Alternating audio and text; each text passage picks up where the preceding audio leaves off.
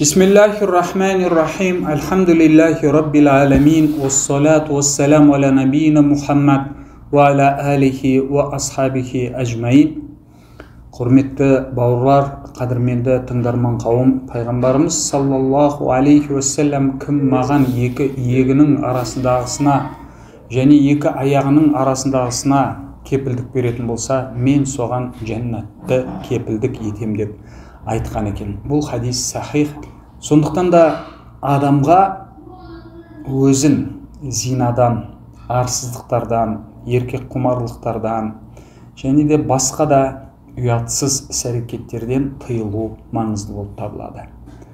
Мұсылман адамның жәннатқа кіруі демек пайғамбарымыз саллаллаху алейхи уассалам кепілді түрде кіруі екі нәрсеге байланысты екен. Біріншісі тілі болса екіншісі оның жыныстық мүшесі яғни оның арлылығы сондықтан да шейх хайсам ас сархан дайындаған мұсылман адамды зинадан еркек құмарлықтан және арсыздықтардан алыстататын ең маңызды жолдар атты қысқаша жолдауын сіздерге оқып беруді жөн көрдік демек әрбір мумин адам өзін оттан тыйғысы келеді. Әрі осы отқа түспеудің басты себептерінің бірі өзін зинадан түрлі жамандықтардан тыю болғандықтан осыған алып баратын жолдарды бірте бірте тізбектеп айтып өтеді шейх. Соның біріншісі аллахтан қорқу дейді яғни тақуалық. Және көп дұға ету. Мысалы юсуф пайғамбардың дұғасындай. Егер бұл әйелдердің сұмдығын менен бұрмасаң оларға иланып надандардан боламын деген дұға сияқты дұға. Немесе пайғамбарымыз саллаллаху алейхи уассаламның алдына бірде бір жас жігіт келіп я расулуллах маған зинаны рұқсат етші деп сұрайды. Сонда адамдар оның айтқан осы ерсі сөзіне ашуланып тіпті оны сол жерден қуып жібермекші болған кезде пайғамбарымыз саллаллаху алейхи вассалам оны өзіне жақын шақырып бері келші дейді.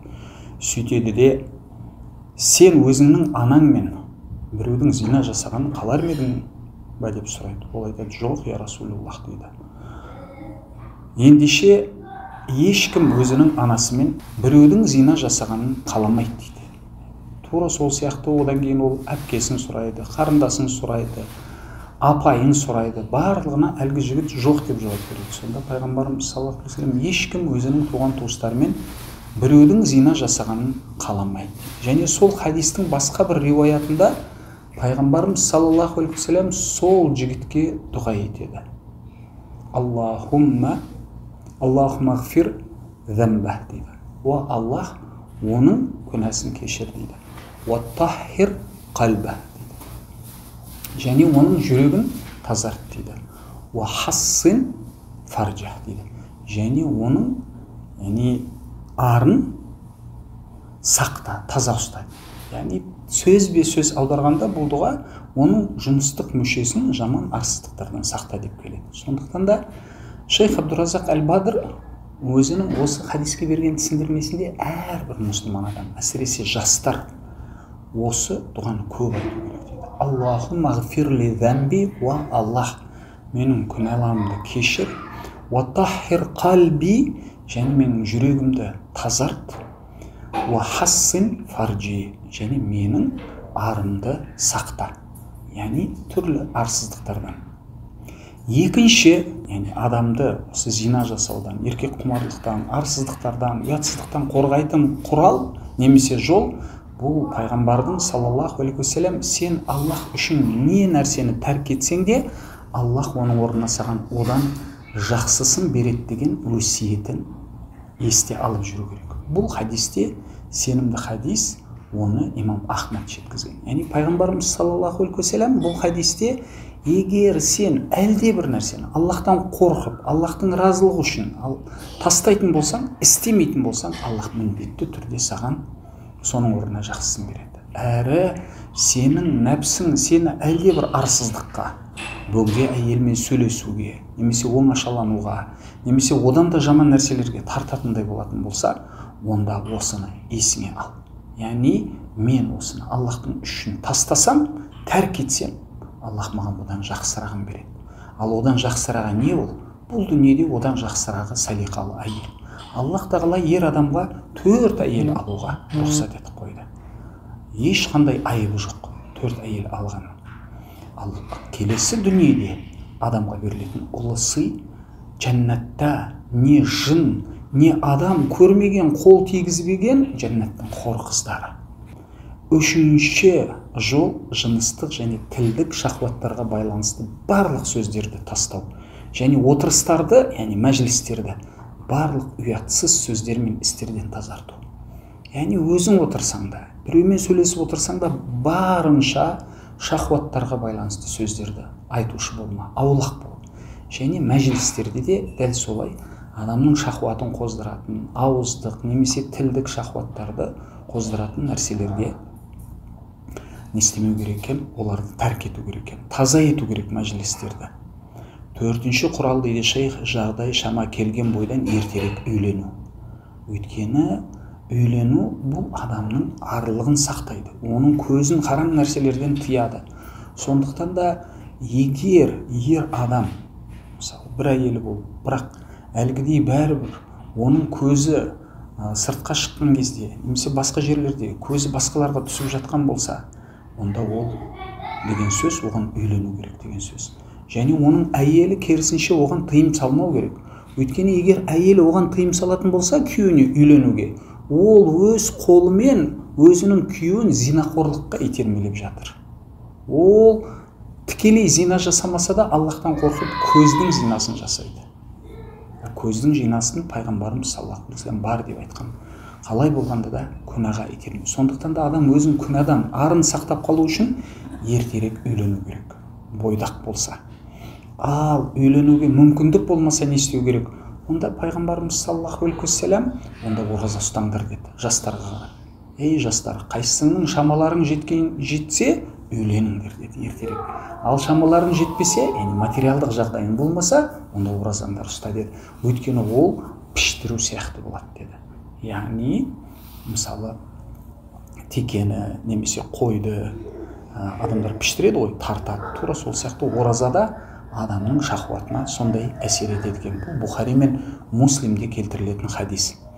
Келесі бесінші нәрсе адамды шахуаттардан тыятын яғни шахуатын әлсірететін бұл тамақ пен сусынды ішіп жеуді азайту. Өйткені адам қаншалықты көп тамақ жейтін болса қаншалықты көп сусын ішетін болса соншалықты оның тәнінің шахуаты жоғары болады. Қаншалықты адам аз тамақ жейтін болса оның тәні әлсіз болады. Сондықтан да пайғамбарымыз саллаллаху алейхи вассалам ораза ұстауды бұйырды. Келесі әрі бұл ең бастысы аллах бұйыратын өзінің кітабында ей иман келтіргендерге иман келтіргендерге айт олар назарларын түсіріп жүрсін деп назарды түсіру. Әйелдер жүретін дүкен базарлар сияқты жерлерден алыс жүру және бөгде әйелдермен оңашаланбау. Жұмыста болсын сауда орындарында болсын басқа жерде болсын бөгде әйелдерге қарамау назар салып және сол әйелдер көп болатын жерде жүрмеу барынша және еш жағдайда оңашаланып қалмау. Оңашалану деген сөз жеке. Бір әйел мен бір еркек. Мейлі ол әлде бір мысалы бөлме. Сол бөлменің есігі ашық тұрып сол есіктің сыртында ар жақта бер жақта адамдар жүрсе де бірақ сол бөлменің ішінде әйел мен еркек оңашаланып отырса ол оңашалану болып саналады. Өйткені сыртта өтіп жүрген адамдар олардың сыртынан көріп тұрса да бірақ арасында не әңгіме болып жатқанын естімейді. Әйелдерге хиджаб киюді бұйыру қыздарыңызға әйелдеріңізге әпкелеріңізге аналарыңызға хиджаб киюді бұйырыңыз. Өйткені бұндайды істемейтін адам шариғи әмірді біле тұра ол даюс болып саналады. Яғни аллах үшін не? Өзінің қызғануға тиісті адамдарын қызғанбайтын адам. Бұндай адам жәннатқа кірмейді бұндай еркек. Әйелін қызғанбайтын қыздарын қызғанбайтын анасын қызғанбайтын өзіне тиісті әйелдерді қызғанбайтын және бөгде әйелдермен тілді жұмсартып сөйлемеу. Ешбір жағдайда көптеген ер адамдар және көптеген әйел адамдар осыған бой беріп жатады. Әйел кісі мен еркек адам сөйлесіп жатса екеуі де суық сөйлесу керек. Бөгде еркек бөгде әйел. Ешқандай тілді жұмсартып әдемілетіп сәндетіп сөйлеуге болмайды. Және ешбір жағдайда ешбір бөгде әйелмен қол ұстасып амандаспау керек. Әрі араласып жүрмеу керек. Әйелдер мен еркектер бір жерде отырып кафеде немесе коллективте шай ішіп немесе бір кабинетте анекдот айтып басқа да нәрселер барлығы шариғатта қатаң тыйым салынған нәрсе. Пайғамбарымыз саллаллаху алейхи вассалам бірде бір бөгде әйелмен қол ұстаспаған. Қолы тимеген.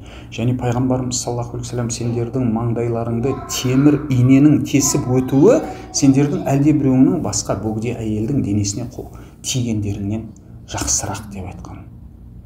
Келесі нәрсе яғни адамды зинадан еркек құмарлықтан арыстықтардан алыстататын ең маңызды жолдардың келесі сегізіншісі юсуф сүресін және оның қиссасын сондай ақ құран мен сүннетте және салиқалы сәләфтардан келген басқа да қиссаларды оқып соған ой пікір құру. Юсуф алейхисаламның қиссасы юсуф сүресінде келген. Оны бай мансапты әдемі әйел соны жақсы көріп қалып соны өзіне қаратқысы келіп сонымен зина жасағысы келіп сол кезде ол аллахқа жалбарынады мен үшін түрме осы әйелмен зина жасағаннан жақсырақ мені құтқар деп алла тағала сол содан тыйылғаны үшін алла тағала оған ұлы сыйларды береді оның арын сақтап.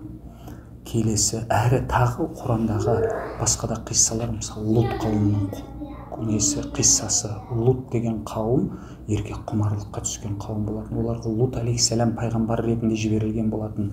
Пайғамбарымыз сол пайғамбарға ә, періште жігіттер келген кезде сол лут алейхисаламның әйелі сол өзінің қауымына барып біздің үйге әдемі әдемі жігіттер келді келмейсіңдер ма деп соларды шақырып олар сосын лут алейхисаламның үйін қоршап бізге бер әлгі жігіттерді деп. Сол кезде лут алейхисалам оларға не істеп жатсыңдар сендер? Бұл менің қонақтарым ұялмайсыңдар ма? Менің қыздарым яғни сендердің әйелдерің сендерге жеткілікті емес пе? деп айтқан кезде лут қауымы әлгі еркек құмар қауым айтады сен біздің не қалап жатқанымызды білесіз бізге не істейміз біз әйелдерімізбен бізге әлгі анау жігіттерді бер дейді. Сол кезде жәбірейіл алейхисалам келіп олардың көздеріне топырақ шашады көздері көрмей қалады. Содан кейін лут алейхисаламға уахи түседі түнделетіп өзіңнің отбасыңды алып кет дейді. Ал бұл қауымға аллахтың жазасы келді дейді. Періштелер де оған айтады қорықпа біз періштелерміз дейді. Сөйтіп түнде лут алейхисалам өзінің отбасымен шығып кетеді. Бірақ әйелі сол неде қалады сөйтеді де солармен бірге опат болады. Олардың опат болуы өте қорқынышты болған. Бұл еркек құмар кәпір қауымды періштелер жермен бірге көкке көтеріп тіпті сол қауымның сол мекеннің иттерінің үргенін періштелер еститіндей қылып сөйтеді де теріс айналдырып жерге қарай тастайды. Сөйтеді де үстінен оттан от жаудырады. Оттан жаңбыр жауады от от жауады төбелерінен. Сөйтіп опат болады өте үлкен күнә. Аллах бізді бұндай жамандықтан сақтасын. Келесі осындай жамандықтан тыятын нәрсе жақсылыққа шақырып жамандықтан қайтаратын салиқалы адамдармен жолдас болу. Әрі күнәлі істерге шақыратын жаман жолдастардан аулақ болу. Барынша қанша жолдастарыңыз жақсы салиқалы игі намасқан адамдар болатын болса соншалықты сіздің арыңызға жақсы. Жаман пасық зинақорлықтан басқа нәрседен тайынбайтын болса олар тіпті сіздің үйіңізге келіп жүретін болса тіпті сіздің отбасы мүшелеріңізбен де сол нәрсені істеп кететін болады. Өйткені олар аллахтан қорықпайтын адамдар пасық адамдар. Ондай адамдардан аулақ болу керек. Келесі нәрсе қарызды алған сияқты қайырасың деген ережені есте сақтап жүру. Өйткені зина бұл қарыз әрі міндетті түрде үйіңдегілермен өтеледі деген. Имам аш шафи айтқан зина ол қарыз егер біреудің қызымен немесе әпкесімен немесе әйелімен зина жасадың ба міндетті түрде қарызыңды өтейсің. Өзіңнің үйіңнен міндетті түрде біреу зина жасайды. Болады дейді. Аллах бізді бұндайдан сақтайсың. Өзіңді пайдалы нәрселермен айналыстырып бос бекер болудан алыс ету. Бекер қол бостық өлім дейді шейх. Өйткені онда жамандыққа бұйыратын нәпсімен және шайтанмен оңашалану бар дейді. Расында да егер адам өзін үнемі іспен бекер бос қоймаса құран жаттаумен ә, тірлік етумен нәпақа табумен иә жақсы пайдалы істермен айналысатын болса қолы бос болмайтын болса оның оған нәпсісі шамасы келмейді оны аздыруға. Адам бос қалатын болса онда не істейді? Ең бірінші шайтан келеді нәпсісі келеді телефонға кіргізеді жаман нәрселерді көрсетеді. Ең соңында сол нәрселерді істетіп оған тынады. Келесі он екінші осыған алып баратын жол шахуатты арттырып арсыздыққа жетелейтін әлеуметтік теле желілер мен интернеттегі осындай арналардан алыс болу. Барынша ондай желілерге кірмеу. Теледидарда болсын ондай бағдарламаларды көрмеу.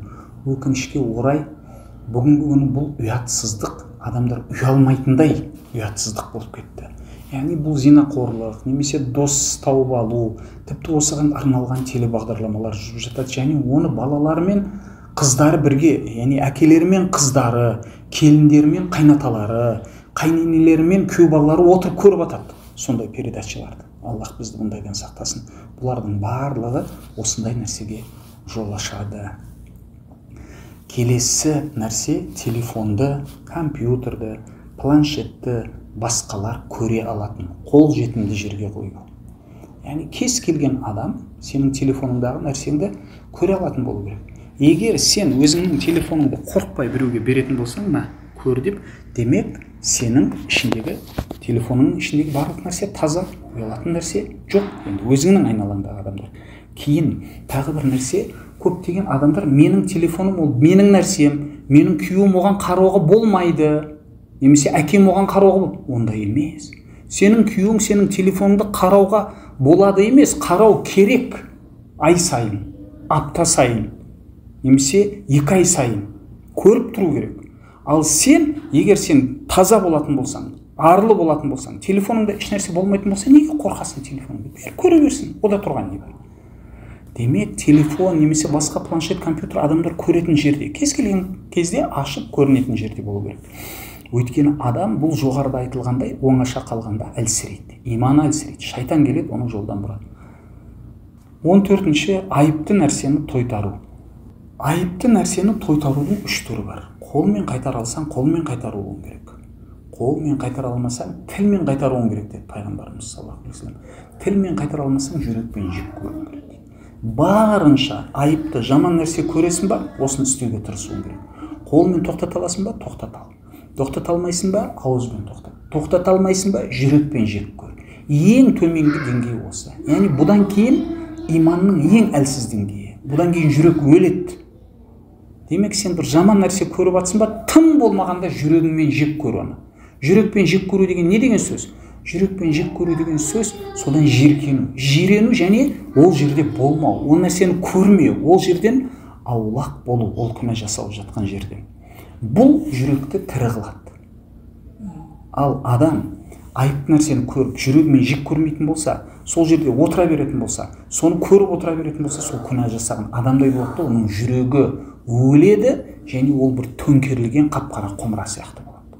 Ол сосын жақсылықты жақсы деп қабылдамайды. Жамандықты жаман деп қабылдамайтын болады. Өлі жүрек болады. Аса жоғары раббымыздан біздің жүректерімізді тірілтуін және біздің өзімізді зинадан еркек құмарлықтан және басқа да арсыздықтардан алыстатуын және бізді салиқалы өзінің құлдары етуін сұраймыз.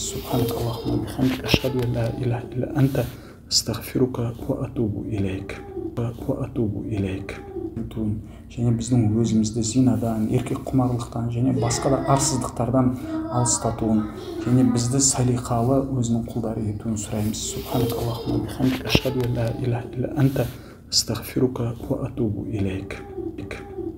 Және біздің өзімізді зинадан еркек құмарлықтан және басқа да арсыздықтардан алыстатуын және бізді салиқалы өзінің құлдары етуін сұраймыз. Астағфирука ва атубу илейк жоғары раббымыздан біздің жүректерімізді тірілтуін және біздің өзімізді зинадан еркек құмарлықтан және басқа да арсыздықтардан алыстатуын және бізді салиқалы өзінің құлдары етуін сұраймыз.